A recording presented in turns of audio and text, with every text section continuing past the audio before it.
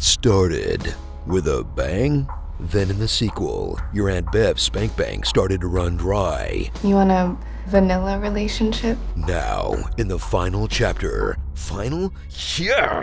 Now, the final chapter lands with all the sex appeal of day old lunch meat left out in the rain. Oh. Fifty Shades Freed. Meet Mr. and Mrs. Grey, two people who definitely rushed into marriage. You own this? You do want to have kids someday, right? Would you change your name for me?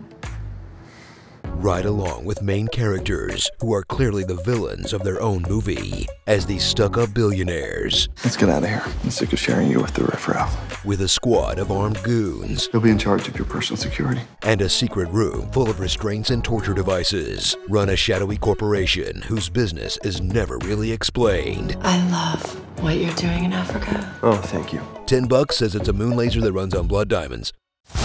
Watch Jamie Dornan and Dakota Johnson crackle with all the intensity of siblings. Is it to the point now with you and Dakota Johnson where it's like, This is gonna sound bad, but it's almost like brother sister. as his Christian Grey sizzles like a serial killer on Klonopin, You know, I had a dream last night that you were dead. while her Anastasia Steele grunts and squeaks like a sex doll cursed with life. and thrill as their dynamic remains exactly the same as you remember it. Guy psychologically batters girl. You insist on defying me. Girl puts up token defiance. Let me drive it. No. Let me drive it. No. Guy plows through it and makes up for abuse with a vehicle ride. You can't just buy your way out of everything, Christian. Some things don't have a price, like friendship. Surprise! Never mind. Webster's Dictionary defines sexual intercourse as intercourse involving penetration of the vagina by the penis. And by that definition, this is a very sexy movie. Yawn as the bondage elements stay as tame as ever, while they up the ante by having regular sex where you'd never want to. Like during a haircut, Christian. What? on the parking brake, with dairy products Oh. and where everyone else eats breakfast. Ugh. Hope your friends like their Cheerios with a light mist of jizz and ass sweat, dude. I really don't care about the whole house. Clearly. So close the book on the trilogy designed to separate your 7th grade geometry teacher from her paycheck that masquerades as a story about empowering women and sexual freedom. Even though the heroine marries the first guy she has sex with, gets her dream job because he bought the company, spends most of her free time hogtied, and after spending a movie fighting against being barefoot and pregnant, mean barefoot and pregnant? ends the trilogy, literally barefoot and pregnant. Man, it's gonna be awkward when those kids stumble into mom and dad's kink dungeon. I know it was for me. Starring this flashback of the dumbest moments in the franchise. Laters, baby. Can't wait to never see you again. I used to write a lot of it on, on my Blackberry.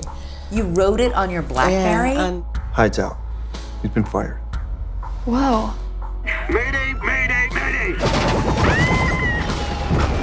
This movie's written so lazy right now. The book that it was based on so lazy right now.